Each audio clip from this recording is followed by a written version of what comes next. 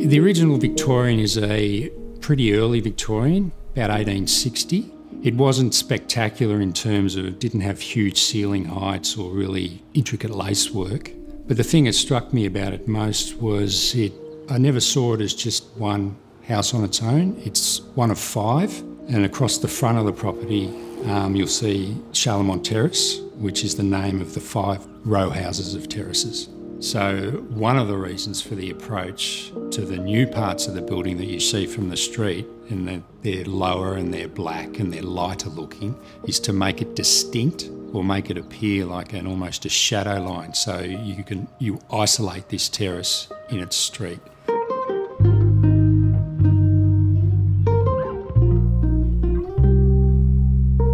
This property is on the land of the Wurundjeri people of the Kulin Nation. My name's Andrew Child. This is my house. I'm an architect and I'm the designer of Fitzroy Laneway House. We're in Fitzroy. It's next to and just northeast of the city of Melbourne. Uh, it's a vibrant area. There's a lot of people, especially during the morning and afternoon, going to and from work. They move through the city. There's a lot of Victorian housing stock a lot of old buildings and mixed with new, interesting little uh, pieces of architecture. The main part of the brief was to house my family. Um, we're also looking for somewhere that could accommodate us well into the future, so that had flexibility in the way we might want to live. We were after something that was quite informal and felt relaxed, wanted to have fun here. And we were also interested in Fitzroy, so we looked around the suburb for ideas that might help us get started on the project.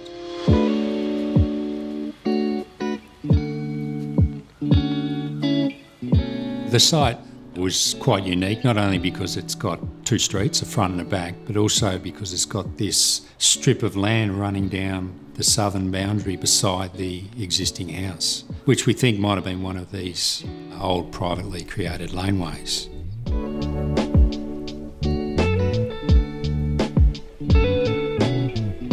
Upstairs, we have what's essentially a parents' retreat with a master bedroom and a little study space and a little hidden uh, ensuite. Um, there's lots of uh, exposed brickwork.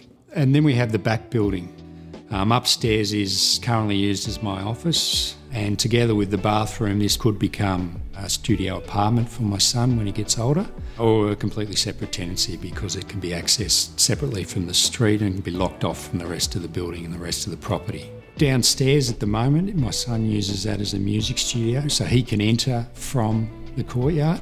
Um, but he often enters from the street, and his mates come over from the street and hang out with him. Uh, sometimes we don't even know they've been there until we look at the fridge in the morning and half the food's gone.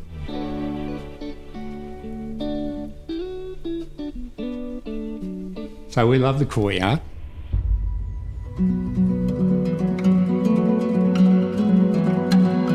We love that you're surrounded by the greenery, but we also love that you can hear the sounds of the suburb surrounding it. We've got uh, the crazy paving continues out there, so that gives it a kind of a rustic, informal feel. And we've got uh, a mixture of plants in gardens, but also in pots that we can sort of move around should we need to.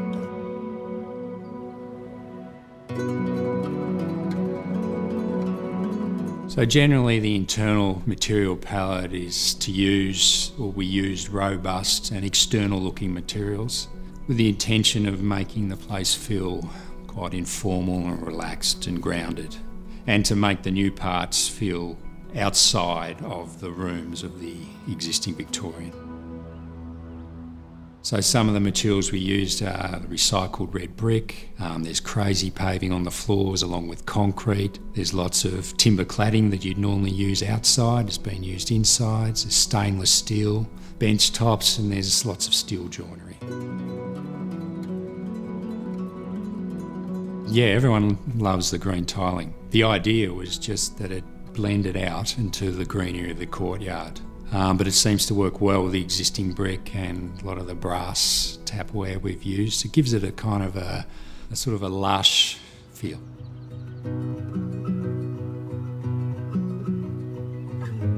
So I wanted the house to feel like a sanctuary, but I still wanted it to feel like we're connected to Fitzroy. So the way we've approached it is we've created a lot of large windows which give us options to greenery, to, to neighbouring buildings, to views across rooftops, back to our own building. And then if things change, which can happen, neighbours can move out, trees can be knocked down and walls can be built, so views can, can change. So we've created lots of large windows with devices like shading blinds, timber screens, metal screens, curtains, drapes. We've got some hanging planters, all things that help us with managing the privacy, but still give us those views out and make us feel connected to Fitzroy.